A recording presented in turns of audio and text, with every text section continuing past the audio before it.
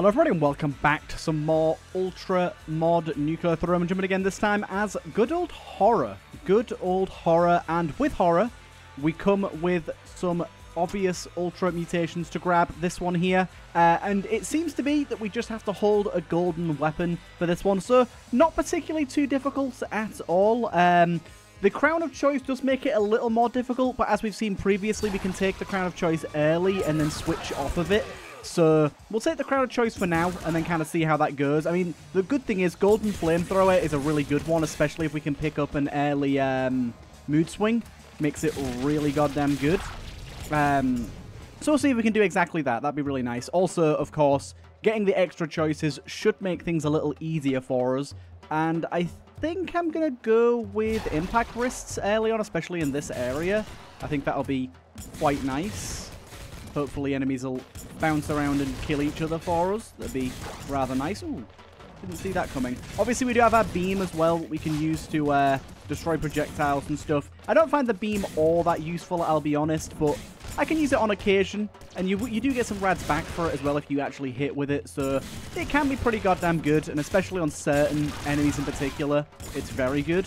Um, it's just one of those things that I don't use a ton.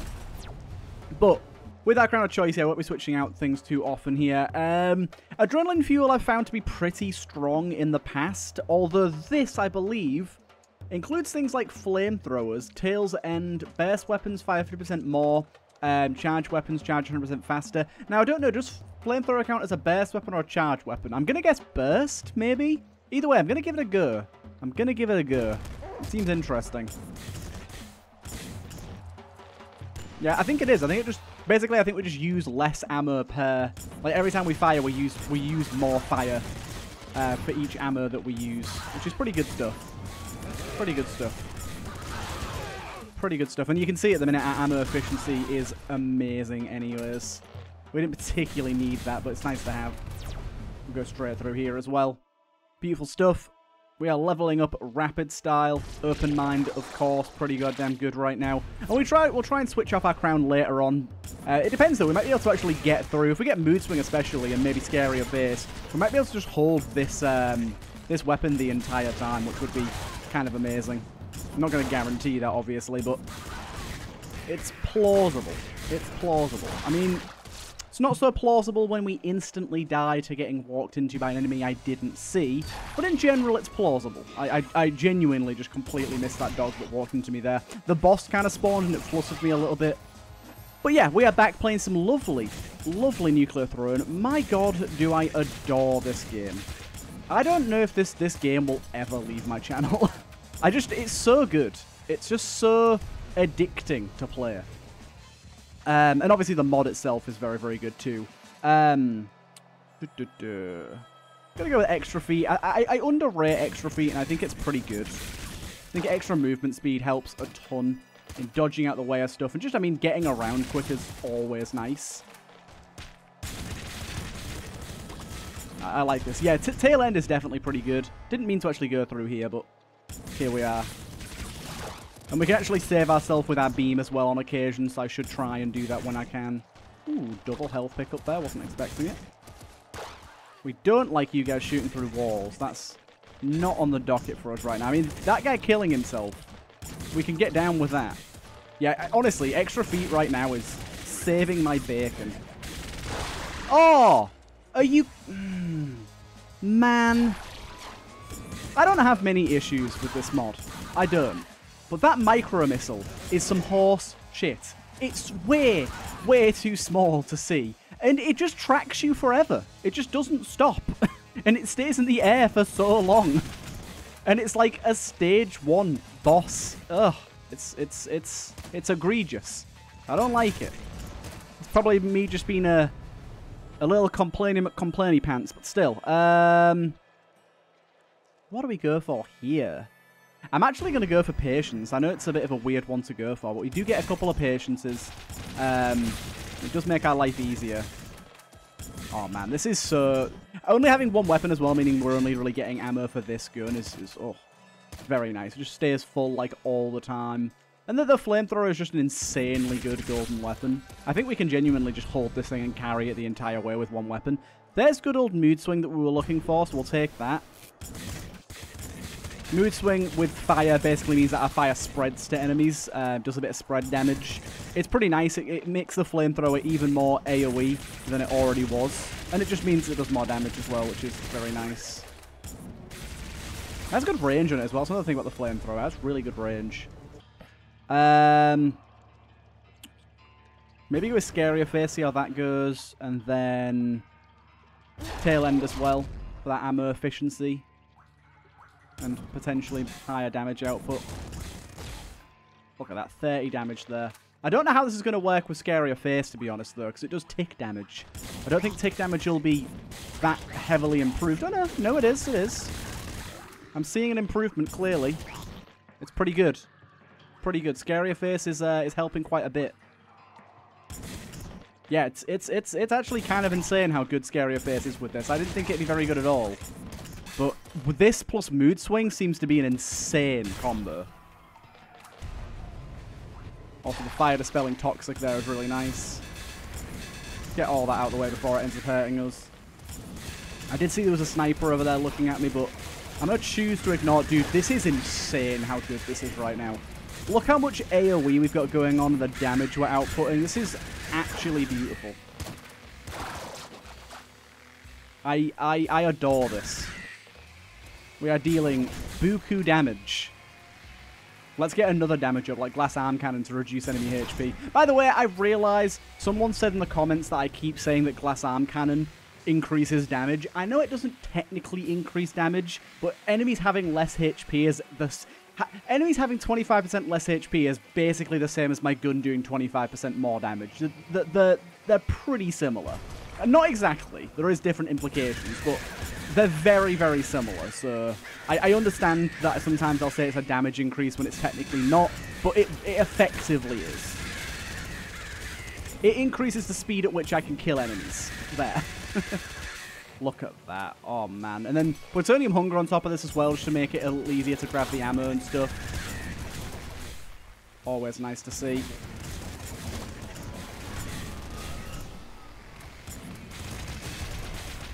Good, go straight in there. We are speeding through this. My goodness. Um, is there anything else we want to grab here? Trigger Fingers I don't think does much for us. Honestly, this might be another Patience, to be honest. Um, I don't exactly know what re how reloading works. I'm going to go with the Glass Arm Cannon. Even though it does lower my maximum HP to potentially slightly dangerous levels, I can bank on getting some defensive stuff later, and just having enemies die quicker now seems fun. Dude, Scarier Face is insane with the flamethrower. I didn't think it'd be very good at all. It's incredibly good. Oh, I've accidentally tabbed out. My, my bad, my bad. One second, one second. Hold up, hold up, hold up. What have I done? Sorry, there's a black screen for a while there. I clicked onto my opposite monitor by accident there. That's you dead, good.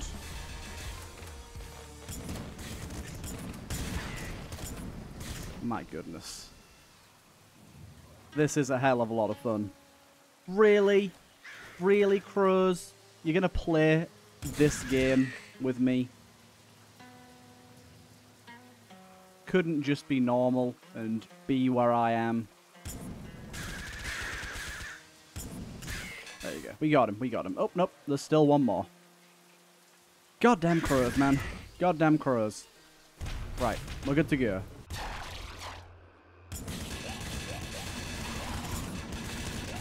This area is not going to be that big of a problem. My main worry right now is if we get a lot of those big guys in a row, uh, armor, armor, some, uh, sorry, ammo situation is going to be slightly more taxing. So far, not so bad. Be nice to get um, back muscles, to be fair, to carry a bit more ammo. Is that it? Wow, that was a very quick stage. Um, Rage could be interesting here. Rage could be interesting. I think I'm just going to go with Strong Spirit, though, just as a, a backup for if I mess up.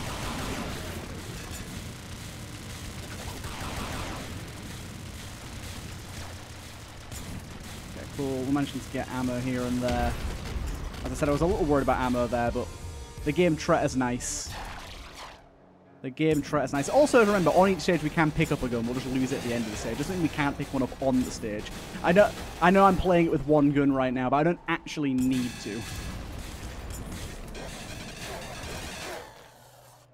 See what I mean about that ammo situation? It's not ideal.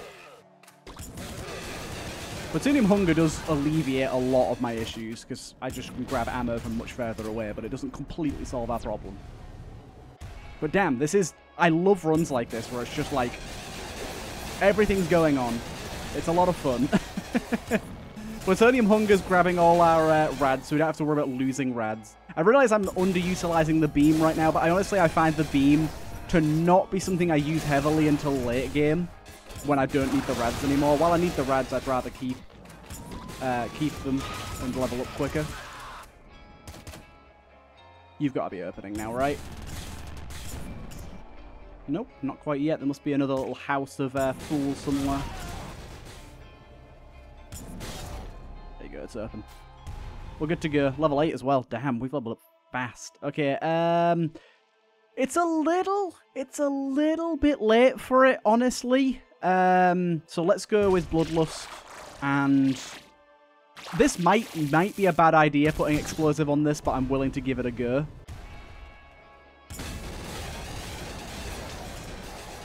I'm just thinking with Mood Swing, explosions seem like they could be good. Oh, bollocks. No, I've just took a very high amount of damage at a very inopportune time.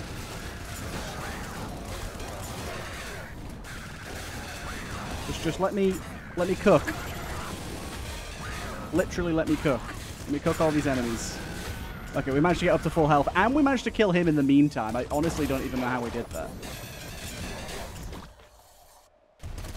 Okay, the game is giving us HP like nobody's business at least, so it doesn't seem to explode, like do an explosion too often, which is actually kind of nice. I was worried it was going to be exploding on like literally every enemy it hit. Is this the run where we have extra feet? I don't remember. I think it, it feels like I'm moving faster. I don't remember the... Nah, I don't think I do actually. I was, I was moving through the web slower, wasn't I? If you have extra feet, you can uh, get through the webs at full speed, which is actually super, super nice, to be honest. It's one of the things that I forget about extra feet that on this level specifically is, like, insanely valuable. I see you, policeman. I see you. Look, look at all that extra fire damage. Tail's End is another thing with ammo-wise that's really saving us here. Okay, Okay, one more level up, and let's try and go for something that's going to save us here. Although, Ecstatic Fists to get us a bunch of extra damage. The full damage setup with this thing does seem incredibly appealing. 25 on that first hit there. 35% extra damage. We're, we're overhealed at the minute for some reason. I'm not quite sure why, to be honest. I'm not sure what we did to earn that, but certainly won't uh, dispute it. Luckily, our flamethrower does just about reach this guy. I was a little worried it wouldn't. But goddamn, did it absolutely decimate him. Last few friends over here. That it? Not quite level up. We are on the final stages now, so we should be able to get something going. Oh, that's a lot of doggies. Yeah, I had a feeling they were going to jump at me pretty heavily there. I'm more scared about me exploding myself because the explosion effect on this than anything. Or running out of ammo, to be honest. Running out of ammo is, is fairly plausible here. Oh my god. Okay. We got our level up. That was... The ammo is... Yeah, the ammo's... Dude, this is a lot of doggies. A lot more than normal.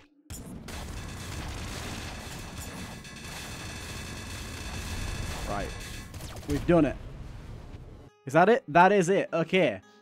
Cash Flow. Replaces beam with Cash Flow. Cash Flow uses cash instead of rads. Get 100 cash every area. Cash maximum is 500. Kills generate cash.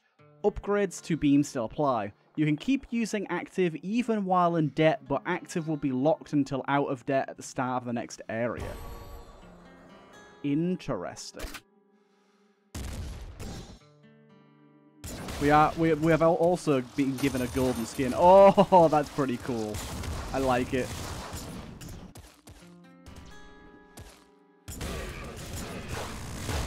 Oh, doggies coming in hot. Oh, okay. That that ended that pretty swiftly there. That was fun though. That was fun. We can uh, we can go and take a look at some of the other skins actually. Let's go back to the main menu. And now we can go with horror. And we do have a D skin now. What's that C and B skin? Okay, uh, uh, B skin is reach the palace without leveling up as horror. We did try to do that before. Pretty tricky. Pretty tricky. Um, and we've also got complete a main area on loop using only the beam.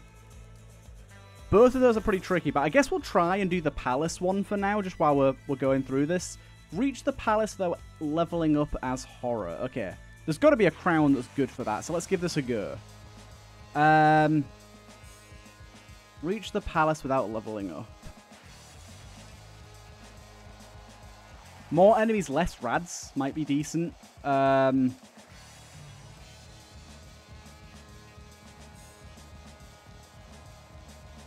Hmm.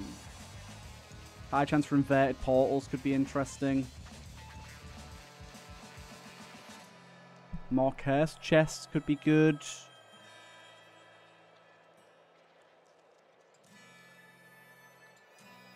Hmm.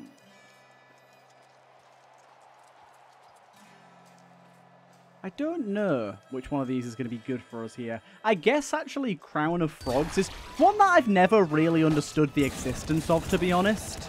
Oh, hello. I didn't realize the boss would also spawn here. That's, uh... A little... Oh, I'm out of ammo. Okay, well, this is cheeky as fuck game. Yeah, that's, that's kind of cheeky. but I've never really understood the existence of this, to be honest. But we'll take it.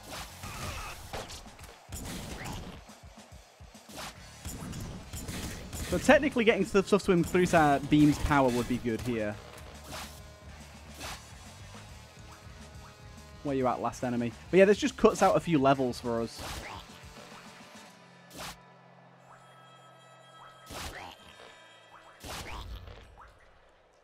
Good to go.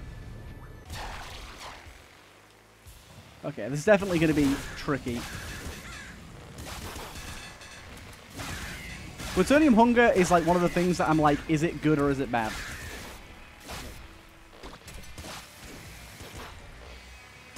I don't know. I'm going to level up by accident at, the, at some point is my main sort of worry right now.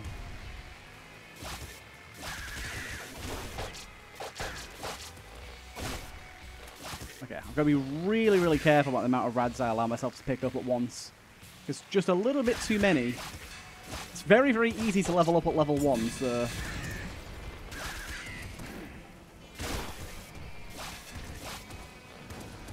Okay, that they all fill into there, so that's fine. There was an inverted portal there that I didn't see. Okay, so now we can actually change our crown, right? Uh, let's go around and change our crown, because this one is now worthless to us. We skipped a few floors, but... Damn, that was kind of close. That used a lot of rads there. Right, what could we go for now that's going to be useful? Walls don't exist could be kind of interesting, I guess. Um, it's not as interesting as I thought. It, uh, it's actually terrible. I thought I'd be able to walk in the area where the walls are no longer. I cannot. this has just made my life a lot, lot harder.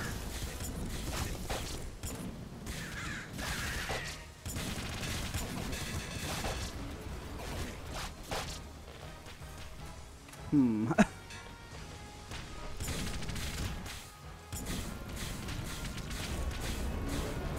Need you to chill out, big buddy. I don't know how much health you actually have. No, I leveled up. I leveled up. How was I meant to avoid it? Restart. Sewer skip at the start seems like a decent idea.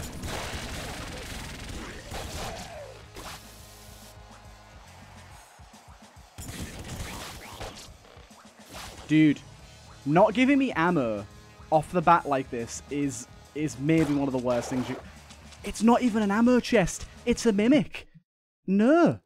I don't accept. I do not accept. Okay, this is this has become a much harder challenge than I anticipated. But anything else that could be really good for us?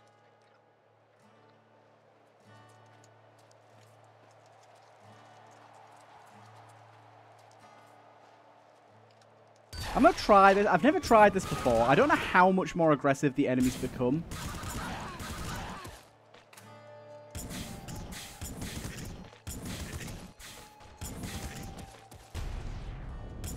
Well, okay then. Take that. Although I've run out of ammo again, so I'm starting the stage with no ammo, so I'm basically goddamn dead. No rads, no ammo to start the stage seems a little unfair.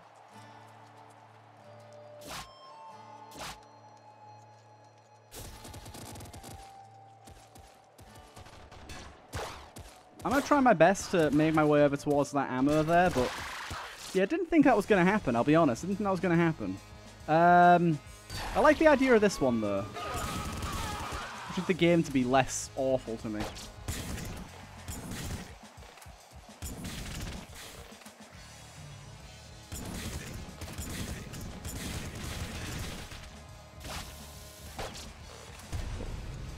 Where we go. I guess I can take a wrench at this point.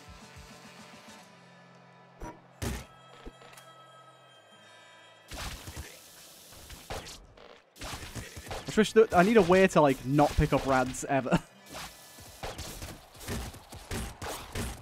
Excuse me, Scorpion.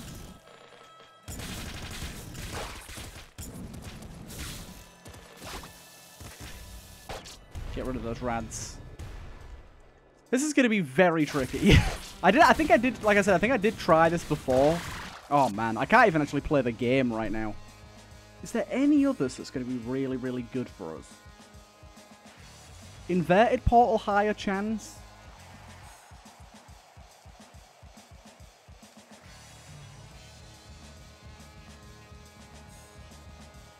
Hmm. More chance of inverted portals could be good. Maybe better weaponry. Now I can actually pick up weapons. I should focus more on trying to get better weaponry.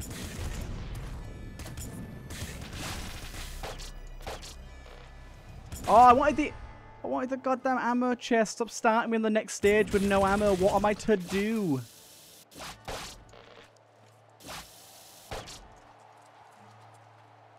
What's a guy to do?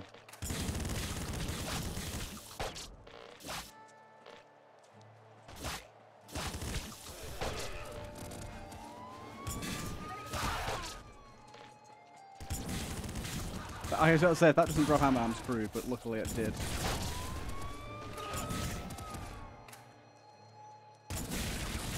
How did I not get hit there? Put bouncer on that maybe, why not? Micro assault rifle. Ooh, I like that. I like that. Okay, um... Through we go. Still think the sewer start is probably the best way to go, to be honest.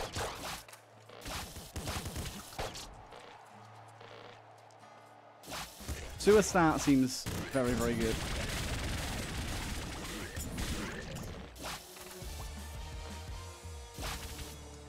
Good. Really, really hard, like, once you get to the later enemies to manage the rads, because there's just so many rads on the floor, and it's so easy to absorb them.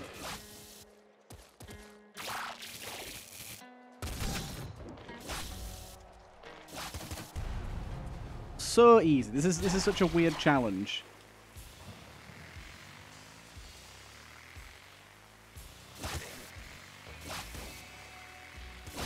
Don't you try and snipe me. I've literally just got to be holding my beam button, like, all the time, I guess.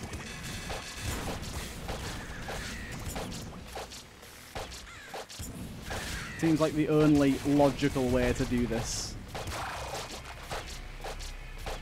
There you go. I mean, it's, it's working right now. It's a bit janky, but it's working.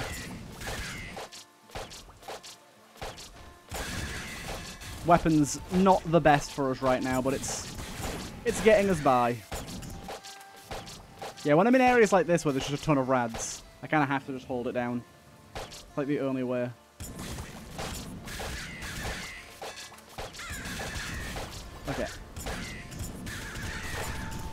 Excuse me. There's explosive again. That was pretty good last time. Ammo, good, good. Oh my god, this is just not it.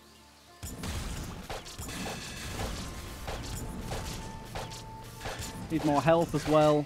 So I can't level up, so I can't even get things that give me more health. It's tricky as hell. Probably one of the harder unlocks that I've seen. I don't know how on earth I'm going to kill this guy. He can shoot through goddamn walls, this dude. But at least the micro missiles get instantly destroyed. I want the health! I just wanted the goddamn health! Anyways, I think we're going to leave it there because this challenge is almost impossible and not entirely fun. Either way, I hope you guys did enjoy, and I'll see you guys in the next one.